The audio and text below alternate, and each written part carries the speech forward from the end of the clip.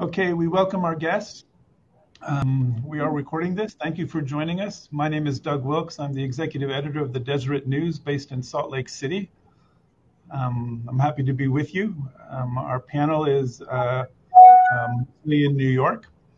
Uh, but I would like to introduce our topic and then introduce our guests, and we'll get going for these next 45 minutes. We're talking today about uh, short termism as a major barrier for businesses attempting to transition to more inclusive growth.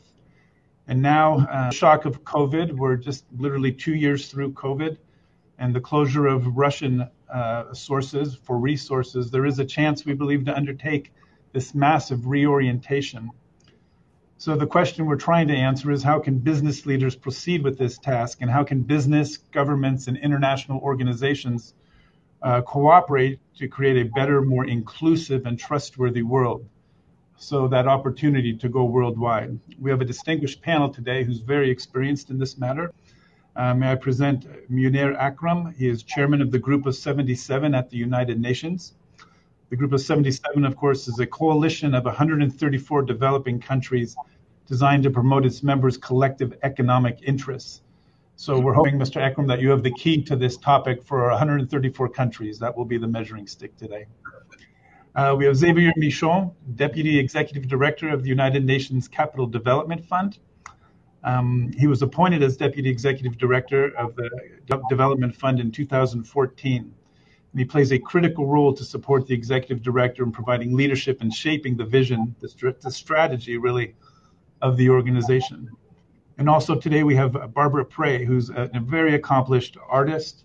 Um, her um, her contemporary work was recently commissioned by a, a Mass uh, MoCA. What's MoCA, Barbara?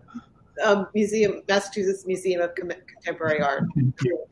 Um, she's painted the largest known watercolor painting, um, and her art resides in the National Gallery of Art, the Brooklyn Museum, the Smithsonian American Art Museum, uh, Kennedy Space Center, and the permanent collection of the White House. If we do nothing else today, we need to be uh, mind that art and, and go search far and wide. She's also served for the past 12 years as the sole uh, visual artist on the U.S. President appointed National Council of the Arts, which is the advisory board to the National Endowment of the Arts. Uh, we may also be joined by others, but we will, we will start there.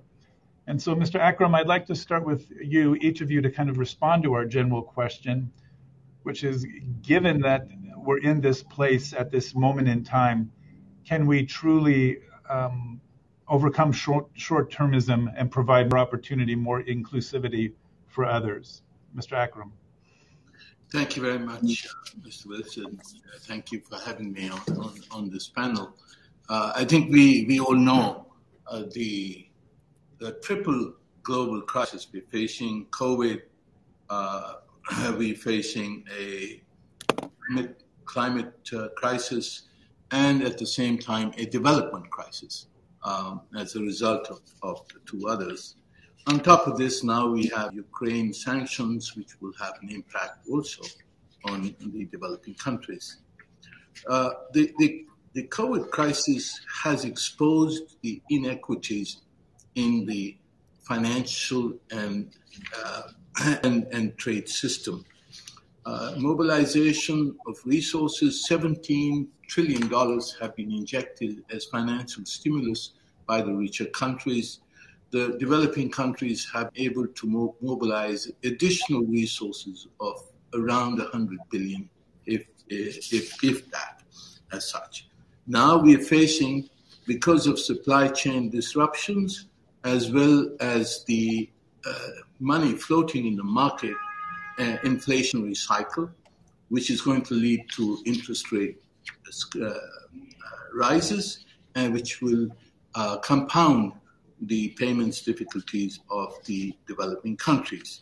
So, what is the answer? And, and here I agree with the Secretary General of the United Nations, uh, who said we need a complete overhaul of the global financial system, which has led to skyrocketing inequalities within and among countries, unbearable levels of debt of developing countries, and unbridled illicit financial flows. So, what can we do? I would say that we start with the issue of trying to resolve the debt burden, the debt problem that is going to affect about countries, about 40 of them are, are in distress. We, we should extend the uh, debt suspension of the G20 for another year or two. Uh, we should speed up the application of the common framework, which they have agreed, but which is applied in, in a very slow way. It must be speeded up so that countries can get uh, relief as soon as, as soon as possible. And we must get the private sector to participate in the debt restructuring, which they have not done so far. Secondly, there is a lot of money even in the financial system which is available with the IMF. The IMF has $650 billion uh, uh, in SDRs, in new SDRs that have been created. About 400 billion of these SDRs are not going to be utilized because the rich countries don't need them. Uh, we believe that it would be important that a sizable part at least half of these unutilized SDRs should be allocated to developing countries uh, to enable their recovery. The multilateral development banks should be refinanced as they were after the financial crisis because they can raise a multiple of uh, at least four times the money that they are recapitalized at in order to be able to support uh, the developing countries.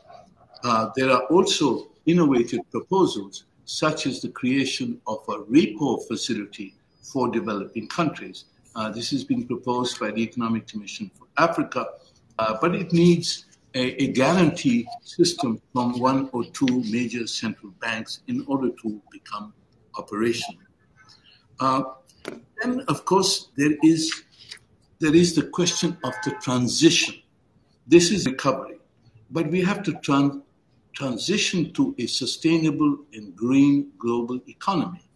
To do that, uh, huge investments are required. It's estimated that in order to achieve net zero by 2050, uh, we will need to invest by about $100 trillion, and particularly into sustainable infrastructure.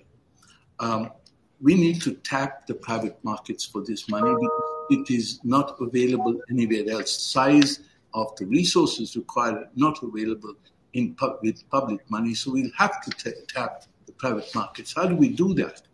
Developing countries uh, do not have access to the private markets primarily because they are unable to formulate bankable projects for financing from the, the capital markets.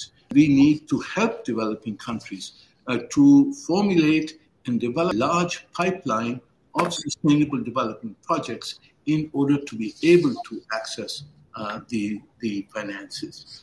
And then, of course, uh, there, there is the issue of the illicit financial flows. Billions, hundreds of billions of dollars flow out of developing countries because of criminal behavior, uh, tax fraud, and tax evasion. And this includes taxation on the digital economy, digital commerce, uh, which, uh, which is a new area that needs to be dealt with. Uh, the OECD agreement on, on uh, a minimum corporate tax does not answer all the questions uh, with regard to financial, illicit financial flows. There, is, there are 14 recommendations from what is called the Financial Account- Accountability Task Force, the FACTI panel, and these are worth looking at uh, in order to see how we can stop the bleeding of resources from developing countries and enable them to mobilize domestically a large part of their recovery and transition to a sustainable system. So these are a few ideas, in response to, to your question. Thank you. Thank you. Thank you very much. Uh, Mr. Michon, uh, kind of the same approach. How do we create a more inclusive society coming off of these past two years? Well, thank you for the question. So let me start. I'm a development practitioner, so by definition, I see the glass half full and not half empty. And, uh, and by definition, also, I look at I, I try to combine the, the medium long term with the with the let's say the the, the short term. Uh, I, I, don't want to be prescriptive in, in, in, my recommendations, but maybe talk about a couple of things based also on my experience, uh, which uh, yeah, living in, in OECD countries in the developing world where I spent most of my career uh, in, in several continents. I think we have to look at always what's positive, what's also what is what can build upon, uh, can be built on and, and, and tapped into, and, and and I think that's something that also bring different parts around. Uh, when I look at the countries that we're talking about, we see a youth that is emerging. I mean, the, the, you look at the pyramid, the age pyramid, you, you have an amazing youth that can be a force of good, that can be a force of a creativity, that can be contributing to the economy, to of course to society, etc., etc. And I think that's an opportunity that cannot be uh, forgotten and has to be invested in. Uh, let me highlight that this is also a youth. This is not when I was born. There was no internet. And I just give you an example. I was stationed in one of the poorest countries in uh, in, in the world before this assignment, and uh, I had my iPhone uh, fixed by someone in the market, a young uh, teenager, and he learned everything via um, uh, YouTube that did not exist. This is today a youth that is connected, that is learning, that is getting models, that is acquiring knowledge. That you know, thanks to digital, is is providing them opportunities that at least I did not have, and, I think that that's something that we should consider. That. Um, two, that, that connectivity is, in my opinion, extremely important. Digitization is is uh, something that we should uh, discuss even further, and uh, Ambassador Akram mentioned it, and maybe going in the lines that also the, the, the ambassador mentioned, I think today, when we're talking about those markets, today you have on one side, uh, you have clients that today are asking for inclusivity. They're asking for um, uh, social standards, environmental standards in investment. You have today a young generator, whether it's millennials or others, that are saying, I want to have a return on my investment, but I also want to have a return in terms of basically doing good. And that's, I can tell you, I have a CEO that told uh, by the way, on one of these big Wall Street said, and redefine basically my uh, my marketing, my engagement, because my client asking to do so. So that we have that on the north. But we also have, I think, a problem of communication in the sense that today certain markets are more characterized by perceptions. They're characterized by uh, let's say, cliches uh, when I think those markets and in developed countries have amazing opportunities. Having seen that myself, I can tell you that those that are smart, that they know that you know uh, you cannot just doing business having a Bloomberg, Bloomberg screen and getting all the numbers, crunching numbers, and then doing a, a, a transfer electronically. I think it's the other way of doing business. It's being present, being connecting, and if you do that and you try to understand the culture, you try to connect and not just landing into the uh, the main hotel of of, uh, of that country and spending three days and leaving and making your investment decision. I think the opportunities that can be made. So maybe to give you one thing that we're trying to do at UNCDF, of course, we work on investments. We're trying to use those investments as as study cases, as also elements that can be proofs of concept that you know we can blend financing from different sources with different risk aversions, with different instruments, and they yield positive impact in society, in the environment. Of course, uh, they improve the incomes, they engage more the women, etc., etc., and of course, uh, they, they, they yield also good returns. But another role that I think is very important is to try to connect spaces where basically investors can talk to entrepreneurs. And we do believe that basically, uh, and so I'm talking about entrepreneurs in developing economies, that they don't know where to go, uh, they don't know who to talk to. Uh, let's not forget that entrepreneurs, when you talk to an investor, you just have to speak a certain language. Someone told me one day, an entrepreneur's not, what was the expression? Yes, they know they have to know how to dress to the party, and there's a certain code, there's a certain language. So I think there are some elements that we can do on that side. Also, the investors they think also a certain way that you know is more standardized. I think when you're talking about developing countries, you have to be a little bit more flexible, a little bit more creative, and we do believe that we need to start connecting those dots. So actually, uh, in in the next few days, we will be launching a, some kind of a Tinder platform whereby basically investors can start connecting with entrepreneurs Uh, we're using uh, algorithms to uh, assess those companies that provide us this information, and we want to start an informed conversation. What we want is that spark that leads to a conversation that then goes in, uh, uh, let's say, on a bilateral basis, and hopefully start connecting those dots. We think that those marketplaces do not exist, uh, at least the way we're thinking about it, and we think that the UN, because it has its neutrality, because it has its convening power, we can create spaces where we can combine a digital platform where we can leverage also our presence on the ground to motivate basically that ecosystem of entrepreneurs and also motivate, of course, the different investment from different latitudes. And just to let you know, today uh, we have done like Apple, and I'll stop there.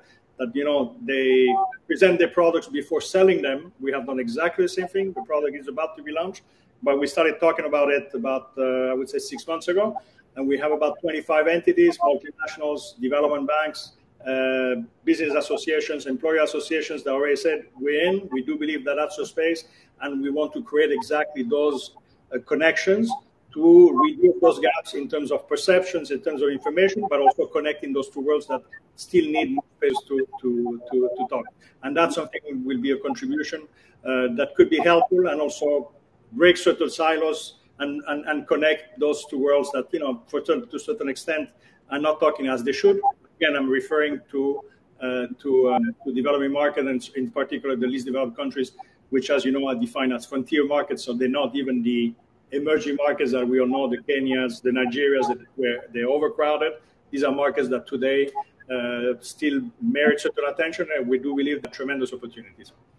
Thank you, Mr. Michon. And I might say to those listening to this um, to reach out uh, to Xavier for more on that network because that sounds wonderful when you launch that. Let's go to um, Ms. Um, art can often bridge cultures and worlds. What's your take on this situation of how we uh, get more inclusive? I definitely bring a different perspective. Um, you know, artists are creative. They take take risks, risks, and they come up with new ideas. They're also entrepreneurs, which Xavier um, was talking about. And I think that business leaders can learn from artists and creatives to help them think outside the box. Um, it's also, you know, engaging with the arts is beneficial to creative thinking in the business world. And I'll, just throw out an example. Um, you, had mentioned I was um, commissioned by Mass MoCA to paint the largest watercolor for their new new building. And the director shared with me, and this was during COVID when things were really tough for museums um, that when things were tough or overwhelming, she would just go down, sit in front of my painting, and just look at it. And it really helped her to focus and problem solve. So that's a little piece, but it's a you know it's it's something that um, you know is, is very helpful in the in the creative process. Um, artists also are often looking at trends as well as creating and leading the trends. So being aware of and responding to the trends, but also leading has important implications for business leaders and it applies to technology as well. Um, I particularly saw during the pandemic some of the suppliers I work with sadly closed their businesses. So I, I, I get to work on a very small, kind of a microcosm of the bigger world. Uh, musicians, actors lost their audience, and museums shut down. They all had to reinvent. Um, I can also say this as I voted on various grants that went to support many of the organizations through COVID, um, through the National Endowment for the Arts. Um, and you know, maybe I should stop there. I was going to talk go go on about corp, um, I've been involved with the national uh, for the the United States um, Department Art and Embassies program, and they place um, American artists' work in the different embassies abroad, um, and that I've spearheaded a couple of programs through there. I've been in uh, sorry, France, Spain, the Czech Republic, and Norway. But it's a form of soft diplomacy and um, countries, people coming and working together. Um, I have some other things I can discuss, but I'll uh, uh actually I think I'll go on to this is the larger question. Is um, I think the world's largest corporations are going to play an increasingly leadership role in corporate social responsibility, which actually um, Xavier had just touched on um, DEI, just capitalism, and sustainability. And we could see the corporates, not the governments, working in unison to make forward strides. Um, it's increasingly going to be creating a richer and deeper, more authentic corporate culture.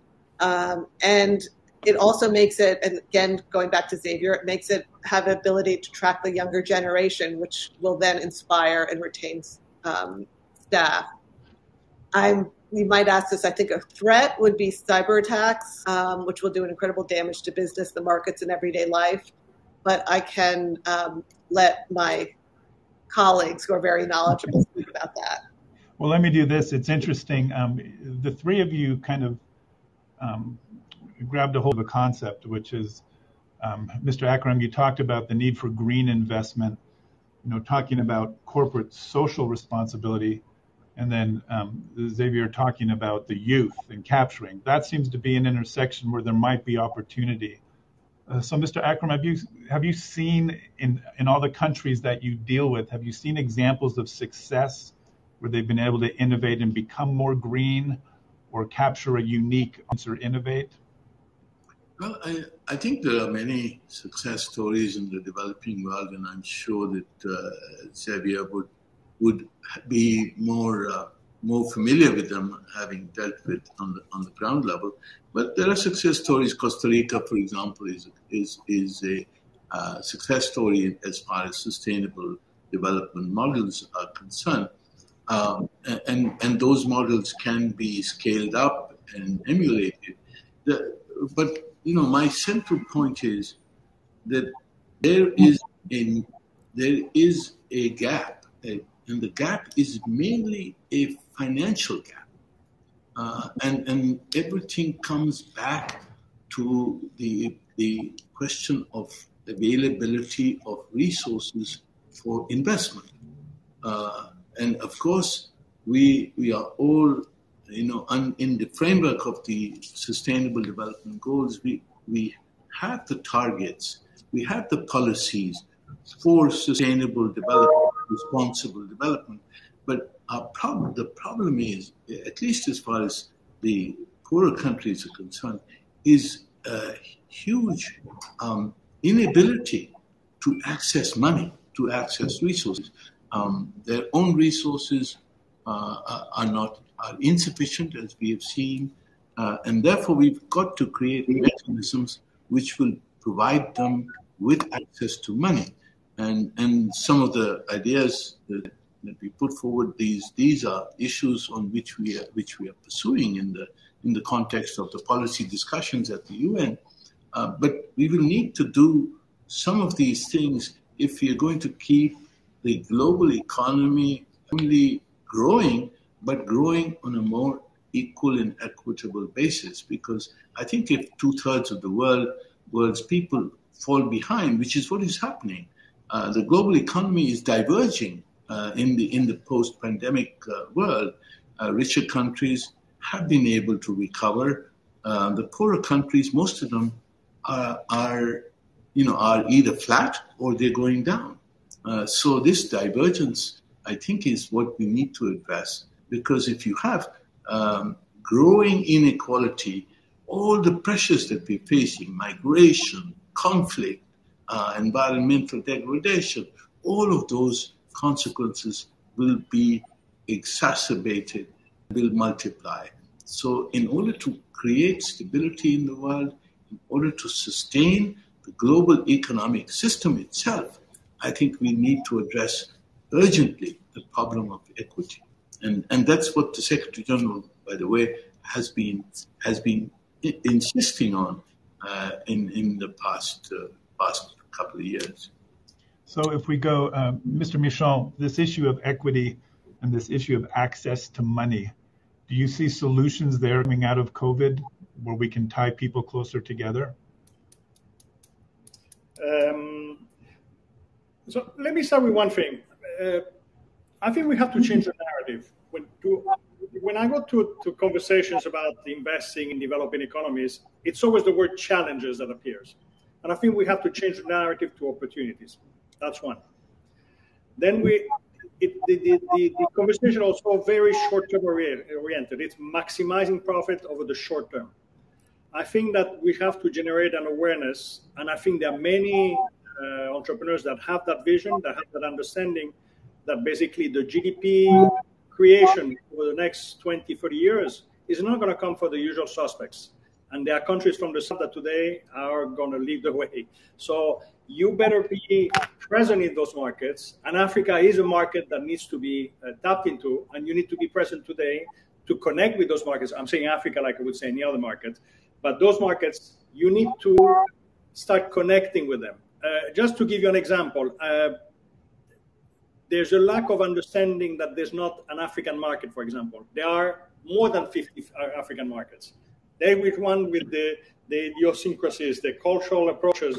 And I think I understand that there is a movement towards, let's say, simplifying and, and, and, and, and trying to, to uh, develop broader, let's say, market structures in, in, in the African continent, like in others. But there has to be an understanding that today you need to lay the foundations, you need to connect with those markets to be present there.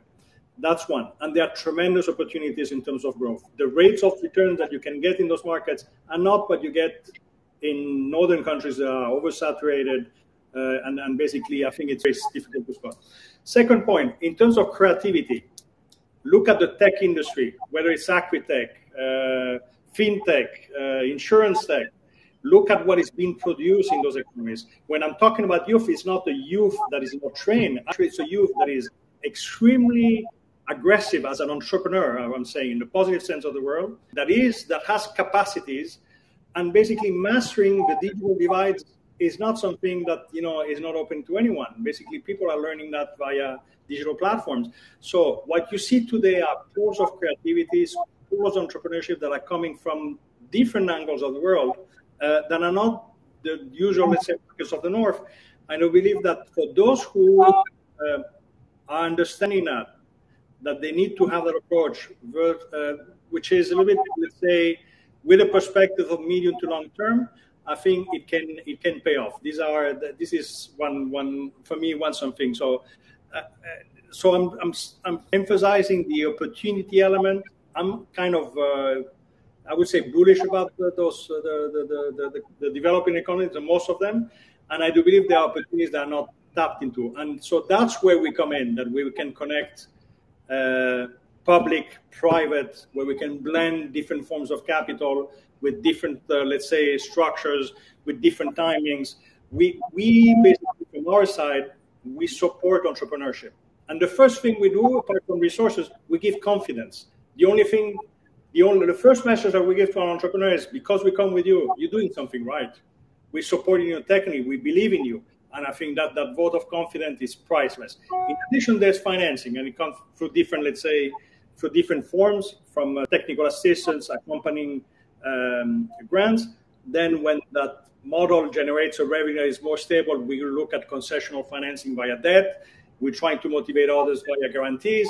But I think there is something that is is happening. We see more and more actors that today are knocking on our doors and say, we would like to experiment in those markets. We would like to understand them. And they don't see the investment per se as a way to generate a return, but it's a way to discover that market.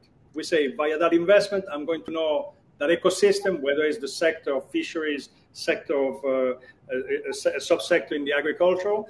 And we see that more and more actors are coming, and they come also with that lens we want to find the next investment opportunities, but we do believe that the dollars that we put in there, the knowledge that we transfer uh, through our work, also is generating jobs, is empowering people, is contributing to the tax systems, etc., etc., etc., and has a positive result. And that's something that our customers want. So it's a win-win. And we do believe that there's something that needs to be expanded. There's more communication to be done.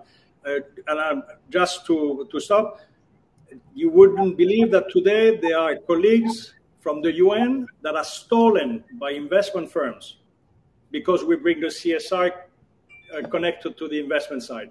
That would have never happened in the past. Imagine a UN that brings, because we bring a capacity that the investment industry doesn't have.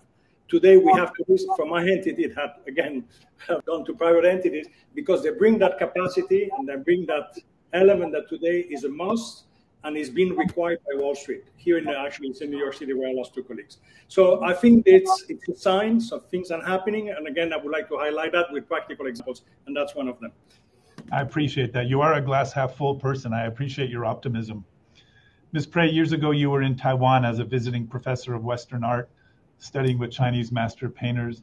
did that experience being in Asia help you see how maybe you can break down barriers, or are there other experiences as you've worked uh, in the fields you've worked in that you could comment on as possible solutions? Yes, these are again kind of smaller um, experiences, but um, we're all made up of individual individual experiences. I had a grant from the Henry Luce Foundation uh, in 1986, and they send um, promising American leaders to uh, have an Asian experience because they saw Asia as an important. Um, you know, it's very important to know a lot about to know about Asia and come back and bring that into um, whatever field you're working in. Um, I also had a Fulbright scholarship, which is, was a wonderful program. Um, so, for, for, what the United States does, it gives you a, a great way of looking at the world from different perspectives. Um, and so I've been able to live outside for maybe five years of my life and, and actually paint. I did a whole series of paintings. But, uh, you know, I'm even looking at, I, I, did work for NASA. I was a NASA artist. Um, I'm, I'm, looking at this International Space Station, you know, wondering what will happen to that cooperation. But that was a wonderful cooperation of Europe, um, the, and um, the Soviet Union, Russia working together with the United States. Um, so uh, I think those individual experiences, um, again, you, for students are wonderful because you never know who is going to be the next leader um, mm-hmm. and those interactions. Thank you. Um, I'd like to ask you each, what role does education play in this? We talk about access to money. We talk about the need to connect, you know, an entrepreneur with someone. But if you're going into developing countries, do we need a different kind of education? Do we need a degree from a university?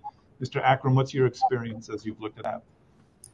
Well, I think uh, obviously education is key uh, to to to be able to do all the things that uh, friend, Mr. Mr. Michon, is saying. Uh, we can't achieve it without education. So you've got to have the right policies in place. And it's true that the that the digital revolution has now made access to education uh, much much wider. But again, I come back to to the issue: if you're going to have connectivity, you've got to have the broadband. You've got to have the the the uh, cables in place. You you've got to have some infrastructure in order to get connectivity.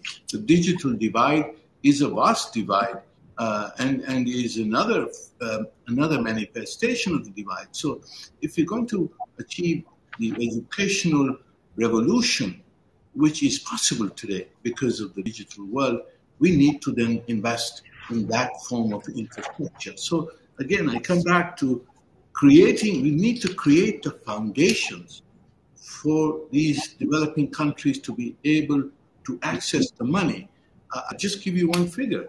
Uh, we have, the Secretary General has created what is called the GISD Alliance uh, uh with, with uh, it's a public-private partnership uh, with the UN.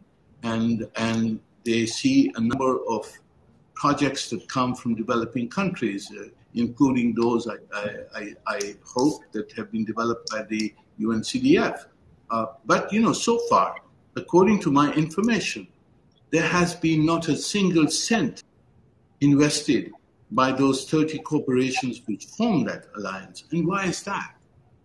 Uh, and that is because the developing countries don't have the capacity to have projects that are bankable by Wall Street standards. Uh, so we've got to find other solutions. We've got to have better project preparation.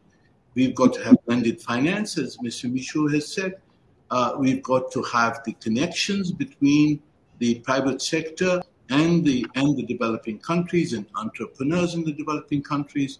Uh, so all of that is possible, and there are exciting possibilities. The the whole digital space, for example, is one where you can where where developing countries can leapfrog. Uh, even in a, in a country like mine, in, in Pakistan, just the last year, the largest investment we had was $400 million investment in digital startups in the IT sector. Uh, such. So there are possibilities, but we, as, as Mr. Michon said, we have to connect the dots. Uh, we've got to get the capacity to prepare projects, and we have to have the capacity to be able to present those projects and access the right kind of money uh, in order to get, to get the investment going in the developing countries. And if we can get the investment going, everything is possible. Uh, education is possible, uh, infrastructure is possible, industry is possible, and the, and the opportunities. I, I totally agree with uh, with uh, Monsieur Michon. The, the huge opportunities are in the developing countries. Uh, they have the population. They, they have the population. The latent demand is there, and we have to tap that demand and train those people in order so that they can be productive in contributing to, to the growth of, the, of their country. So yes, there is hope, but we've got to get our policies right. Thank you. Mr. Michon, um, talking about entrepreneurs, sometimes they leave education because they have a good idea, connect them to money, and they go forward. From your perspective, what's your vision for education helping to bridge this divide? Well, let's start with the basics. I mean, uh, I would start with primary education, and maybe, you know, it reminds me when I was stationed in Burundi one day, I presented a picture to my staff, and it was a street you could see people walking bicycles and uh, market maybe in the back, and in the center there were two children. And I told my staff this taken this picture was taken during the week at 10 a.m. What what do you come out of it? And basically the whole conversation was, what are these two kids doing on the street? Shouldn't they be at school? We always take for granted that primary education is free, it's compulsory, but it's it's not a given. Uh, you know, one of the things that gave me also a degree of humility in all my experience in the world is electricity access to health, uh, free education are not given to everyone. And, and I think we need to start with those fundamentals and also uh, using the, the, the, words of um, the ambassador that uh, education is an investment. And when you invest in your people, it yields results. Unfortunately, politicians are, let's say, driven by uh, the, the short-term elements of, of the cycles, of the electoral cycles. But when you invest in your people and you start investing from uh, the grassroots and the, the basis in primary education, I think it yields results. That leads to the to the um, to the uh, to the point on the entrepreneurs. Maybe one one point, uh, and it's not about education, but we know that many entrepreneurs, when they're seeking capital, not everyone has done uh, business studies. All these people are in the tech. They're people that code. They have a good idea, but that doesn't mean that they know about they know how to talk about finance. They know how to talk about uh, how to structure basically uh, uh, an offer based on a business plan, and uh, and and that thing that's something a problem of the north and on the south. in the south, you have structures, you have consultants, so we're trying to play that role. And actually, in this platform that we have developed, we are actually using an algorithm because we utilize the data provided by the company that registers. Could be a small company, a big company. It's a very simple uh, um, an accessible, um, let's say, uh, website. We, we tested it with micro enterprise in Burkina Faso. They, they provided all the information. But basically, we utilize the data. We using an algorithm. We pass it to basically uh, request for funding. So basically, what we transpose the data in a format that says, "This is who I am. This is what I do. This is where I want to go. This is what I need," but in a language that is understood. Of course, it's not perfect, but it gives them a tool that they can then rework, but also think about and do an introspection. Says, oh, this is how I see myself, and this is how I have to project myself, and this is how this is the tool I need to in, utilize to engage. So what we want also is to provide exactly elements to build capacity I'm diverting a bit from the educational side. And I think these are these complements that also bring something on top to narrow that gap between uh, capital and entrepreneurship. Okay. Um, uh, Barbara, any thoughts on education as it relates to the world of art or trying to bring the worlds together? I missed, I couldn't hear it. Would you repeat just, the question? Just, yes, just the role of education as it relates to trying to solve this problem or bring about more opportunity and inclusivity. I think, as they both said, it's important. Um, you know, a lot of entrepreneurs don't need great education; they just need a drive and a vision. So you don't have to have, um, you know, all these degrees. You just the desire to go ahead and do what you want to do. Of course, I'm talking.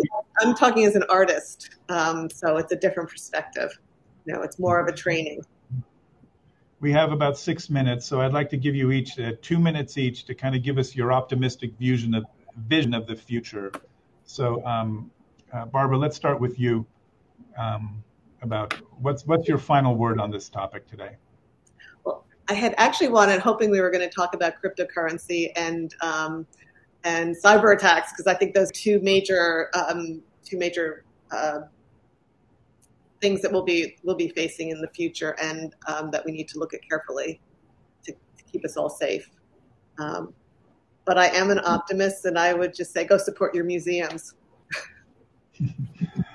Thank you, um, Xavier. Yeah, maybe I'll link education and youth very quickly based on, on, on our experience. I was in Burkina where we were supporting the microfinance sector to basically engage with the youth. And engaging with youth is a component of educating the youth to utilize financial products. Again, have a saving account, borrowing money, paying interest, reporting to a bank, generating that relationship is not a given to everyone. Uh, so this educational element was embedded in addition to how the, the, the, the, the products were priced, but we work with microcredit institutions in that sense. So the when I was there, I asked to meet with some customers. And of course, I had a young group. Uh, they were all in the teens, early 20s. And I two, they were very silent. Suddenly someone says, You came too late. I said, Well, what does that mean? So one of the, the, the young clients said, You know, I discovered that by putting money on the side, I'm generating a little interest, then the bank is trusting me and giving me a loan. I can generate a positive cycle whereby basically I utilize that to buy tools, generate a business, etc., etc. I pay back and I go, and it gives them confidence and it gives them some perspective and gives them hope. That was the first one. So I started with that. And the second one came to me and said, you know what? We are, I mean, I think that program financed about 8,000 clients uh, we were supporting. So 8,000 kids, I mean, young, young adults. Uh, but one of the, the, the clients told me, look, we want the 8,000 lucky ones. Imagine if the entire youth in our country we know about this. Imagine if we would teach those basic elements through the educational system in our country, how, how we could unleash the potential for generating growth, unleash the potential entrepreneurship, give confidence to our youth, and bring a positive element. For me, that was a lesson learned, and that was coming from the voice of an 18 year old and an 18 year old uh, based on a, on a conversation that I didn't know would take to that time. For me, it was a lesson learned, and it gave me a lot of hope. Mr. Akram, a final word on the future? Well, I, think we uh, are, uh, as has been said, we are in the world at an inflection point. Uh, this is a moment where I think we either we restructure uh, our global economic uh, uh, institutions, or we will see chaos. I think that there is the fundamental point, which is unless we are able to address the divergences, the inequities, both within countries as well as among countries, I think we are headed for very difficult times. In any case, our structures have to change because technology is going to force those that change. The digital revolution is is forcing huge changes even in the financial markets and in the way that countries are, are governing themselves and developing themselves. It is completely changing structures.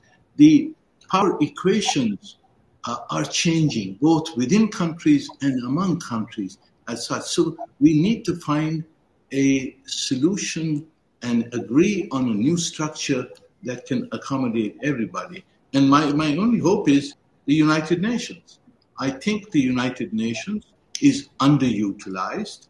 Uh, the United Nations has country offices in 125 countries.